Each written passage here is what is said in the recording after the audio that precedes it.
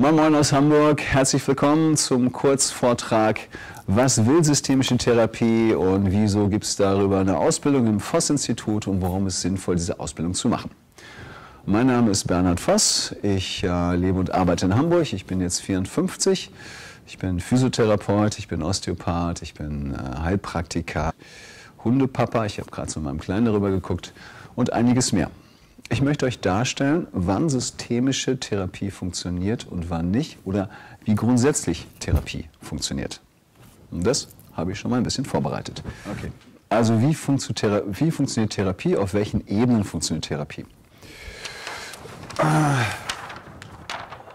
Wenn wir Bewusstsein oder Psyche grob unterteilen in verschiedene Ebenen, dann ist die erste Ebene, die wir auch im Leben erfahren, die intrapersonale Ebene oder die Ich-Ebene. Das ist die Ebene, wo wir sagen können, ich fühle mich gerade so und so. Zum Beispiel fühle ich mich vor der Kamera nun beginnend tatsächlich ein wenig wohler, obwohl ich immer noch ein gewisses Misstrauen hege, auch wenn mich gerade die Kamerafrau so nett anlächelt, so dass das dass da irgendein böses Wesen hinter dieser Kamera lauert und mich irgendwie ins Unglück zerrt. Aber im Großen und Ganzen, das ist vollkommen neurotisch, im Großen und Ganzen würde ich sagen, ich kann mich einigermaßen wahrnehmen. Das können viele andere Menschen auch und einige andere Menschen können das nicht. Wenn es nicht gelingt, sich selbst wahrzunehmen in seinen emotionalen Qualitäten, in seinen instinktiven Quali äh, Qualitäten, dann ist systemische Therapie meist nicht sehr sinnvoll. Da nutzt es vielmehr so etwas zu machen, was es auch im Voss-Institut gibt, etwas wie Kompakt. Dann kann man erstmal den Körper frei machen. Man kann, ähm, man kann Impuls machen. Das heißt, mit mit äh, klassisch-humanistischen Therapiemethoden erstmal den Geist oder das Bewusstsein ein bisschen freier machen. Dafür gibt es andere Methoden. Systemische funktioniert nicht auf der Ich-Ebene. Vielleicht ein bisschen, aber nicht wirklich gut. Die nächste Ebene, die wir uns kennenlernen, ist die Du-Ebene. Es gibt den Satz von Fritz Perls, der sagt, das Ich erfährt sich immer nur am Du. Hier ist Beziehungskompetenz gefragt. Und idealerweise können wir uns selbst wahrnehmen. Wir sind also wahrnehmungsbegabt, emotional intelligent und gleichzeitig daraus folgend auch beziehungskompetent. Sollte es hier ein bisschen hakeln, ein bisschen schwierig werden, wirkt hier wiederum Impuls, hier wirkt wiederum Kompakt. Wenn man verstehen möchte, wieso klappt das denn immer nicht mit dem Nachbarn, gibt es KSP-Kurse, die da ganz hilfreich sind, zunächst mal zu verstehen, wie wir alle funktionieren, was für Charakterstrukturen es gibt, was mein Körper gerade erzählt, während ich vor der Kamera stehe, das ist KSP 1 oder welche Beziehungsstrukturen, das ist KSP 4, existieren. Auch hier wirkt systemische nicht. Also gibt es große Beziehungskonflikte. Zunächst einmal gibt es andere Methoden, die da viel, viel, viel wirkungsvoller sind. Nun gibt es aber Menschen, die scheinen unter einem, unter einem naja, dunklen Stern geboren zu sein. Etwas geht im Leben immer schief. Und obwohl sie sich selbst wahrnehmen, obwohl sie beziehungskompetent sind und kommunikativ erfolgreich, scheint es zu sein, immer aus welchen magischen Gründen auch immer, dass Beziehungen nach drei Jahren enden. Oder aber jemand ist sehr begabt, der hat gut studiert, der hat einen guten Job und trotzdem gelingt es, aus welchen Gründen auch immer, nicht wirklich Plus auf dem Konto anzusammeln. Immer wenn es ins Plus geht, geht das Auto kaputt, die Waschmaschine, irgendwas passiert und plötzlich ist das System wieder im Minus oder in den Schulden, die auf eine gewisse Schuld hindeuten. Ähm, Vielleicht ist jemand auch chronisch krank mit seinem Körper und ist nun wirklich engagiert und wirklich wahrnehmungsfähig und möchte wirklich verstehen, was fehlt mir denn, was kann ich aktiv tun als Patient, damit es mir besser geht. Und das tun die auch und trotzdem scheint es nicht zu funktionieren.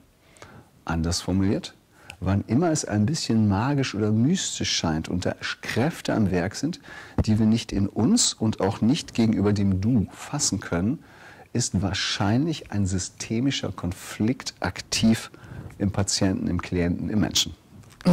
Das ist die nächste Ebene, die Wir-Ebene. Kaum jemand würde bestreiten, dass wir natürlich geprägt sind durch unsere Familienstrukturen und all die, die vor uns waren. Natürlich macht es einen Unterschied, ob man in einer preußischen Offiziersfamilie groß wird oder in einem Alt-68er-Haushalt. Wer würde bestreiten, dass Friesen doch ein bisschen anders sind als Bayern? Natürlich prägt uns unser Umfeld, ohne dass wir es bewusst mitbekommen. Und wenn in unseren Vorfahren, also unserer Familie und Großfamilie Konflikte waren oder manchmal auch Schlimmeres, dann prägt es das Ich, es prägt die Beziehungsebene Du und alles, was wir auf diesen Ebenen versuchen, scheitert meist, weil das Problem liegt oder die Ursache liegt auf dieser Ebene. Man könnte auch meditieren, keine Frage. Das ist die nächste Ebene, die Ebene All-Eins-Ebene. Hier wirkt Meditation, hier wirkt Yoga, hier wirken Weisheitstraditionen. Aber gewisse Dinge kann man im Leben auch nicht wegmeditieren. Und wenn das und das gut funktioniert und jemand auch einigermaßen erfahren ist auf dieser Ebene und trotzdem Dinge im Leben schieflaufen, ist die Antwort im Allgemeinen klar. Das muss oder es wird wahrscheinlich auf der systemischen Ebene liegen. Und was das bedeutet oder wie sowas entstehen kann, das möchte ich euch jetzt zeigen. Ich möchte euch ein Beispiel erzählen, einen echten Fall, den ich natürlich etwas verändert habe, ähm, um Patient, Patientin zu schützen. Dennoch, es macht ziemlich schnell klar, wie unser jetziges Ich-Leben, unser Beziehungsleben geprägt wird durch Dinge, die geschehen sind lange bevor wir geboren wurden. Das heißt, gewisse Symptome oder gewisse Probleme sind entstanden, da waren wir einfach noch nicht auf der Welt. Klingt verrückt, ist aber so. Stellt euch vor, hier ist eine Mutter und die hatte eine Schwester. Also diese Mutter war mal ein Kind, sagen wir sechs Jahre alt, und ihre Schwester war zwei Jahre alt, konnte gerade laufen. Und der Auftrag an diesen Menschen, der später die Mutter von unserer Patientin wird, das hier ist unsere Patientin, der Auftrag an die Sechsjährige lautete, pass auf deine Schwester auf, auf die Zweijährige. Und die Sechsjährige hat gesagt, klar passe ich auf. Und dann hat sie einen Moment nicht aufgepasst. Und die zweijährige Schwester läuft um einen Zaunpfeiler herum, auf einen Teich zu, auf einen Weiher und ertrinkt. Das ist schrecklich. Und alle Welt sagt natürlich zu dem Kind, das später die Mutter unserer Klientin geworden ist, dafür konntest du nichts, du warst ja nur ein Kind. Völlig klar. Innerlich geschieht natürlich jetzt etwas wie Schuld in dem System, die ja später Mutter wurde von unserer Klientin. Es entsteht ein Schuldgefühl und eine innere Bindung an die Schwester, die durch die Unaufmerksamkeit gestorben ist. Das bedeutet, innerlich schaut, zumindest sagt das die systemische Therapie, diese Mutter immer noch auf ihre verstorbene Schwester. Und die Schwester schaut wahrscheinlich auch noch auf ihre große Schwester, die nicht auf sie aufgepasst hat. Jahre vergehen. Das Mädchen wird erwachsen, wird später Mutter und bekommt eine Tochter. Und diese Tochter, die unsere Patientin, Klientin ist, deine beste Freundin ist, deine Arbeitskollegin, die hat immer wieder Beziehungserbrüche. Wie gesagt, sie fühlt sich selbst, sie ist kommunikativ, aber irgendwie gelingt ihr kein Lebensglück. Die Beziehung scheitert, sie läuft immer wieder in Schulden hinein und erstaunlicherweise hat sie tief sitzende Rückenschmerzen, die ihr keine erklären kann. Also eine Beckenproblematik. Aus den KSP-Kursen, aus den Impulsausbildungen wissen wir, dass Beckenproblematiken mit existenziellen Themen zu tun haben, nämlich mit Tod, Aggression, Sexualität, aber wie gesagt im Wesentlichen mit Tod. Schulden haben mit Schuld zu tun und Beziehung hat was mit Beziehung zu tun. Nicht erklärbar, weil die Patientin ist, wie gesagt, kommunikativ stark, die hat auch alles gemacht, die nimmt sich selber wahr und trotzdem wird das Leben nicht besser. Wahrscheinlich ist ein ganz einfacher systemischer Mechanismus am Werk.